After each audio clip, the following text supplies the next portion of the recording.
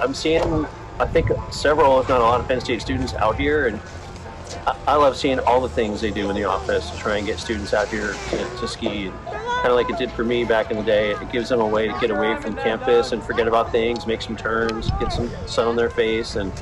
But yeah, I, I, I love the discount, and I I don't have any way to measure it, but I think it works. I certainly hope it does.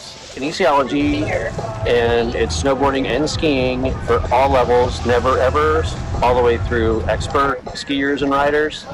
Um, it's offered Monday, Tuesday, Wednesday, and Thursday evenings and Saturday mornings. And I do know each year my students tell me it's the first kinesiology class to get booked up uh, during registration. Now, I'm fortunate enough to teach the kids that have been skiing a long time, and they um, they all have great ski stories, and it's just a really um, great environment for forging friendships and having something like this in common. The classes become close, and I like watching them get to be friends with each other, and then follow them as their relationships develop. I'm a patroller, uh, alpine patroller.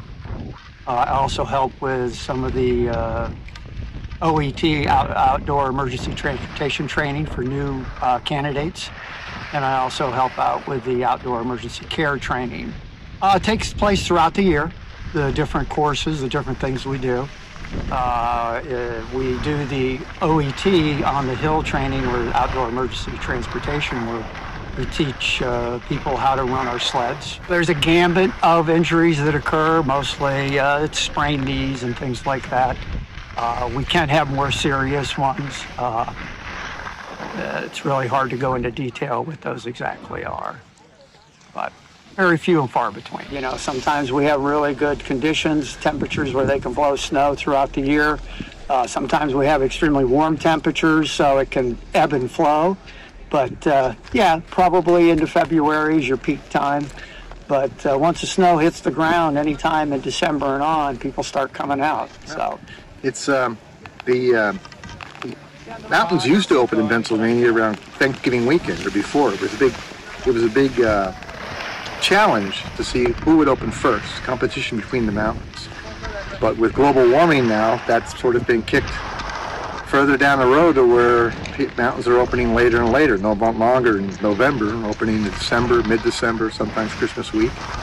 And Pennsylvania being in a very uh, variable zone, we have a lot of uh, freeze-thaw cycles.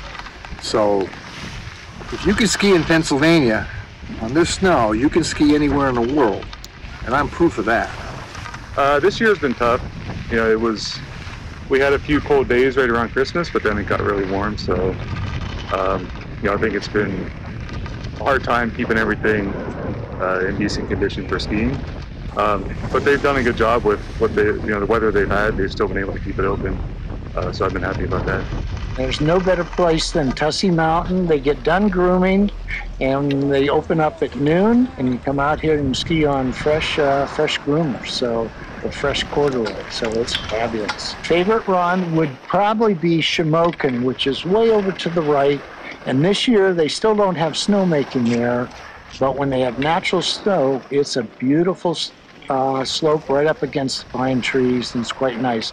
Grizzly's great, Tuscarora's great, Utah, it's, it's, it's all a ton of fun at Tussey. You know, back then, Tussey was closed down for a few years and it was private ownership. And then, just as I was getting ready to graduate, they reopened it. So it was a, a, real blessing because before that, you had to drive like an hour to go skiing anywhere. So having Tussey, 10 minutes from Penn State, was kind of nice. Tussey has all sorts of two hour programs, and they've got special evening hours where you can come out and ski very reasonably.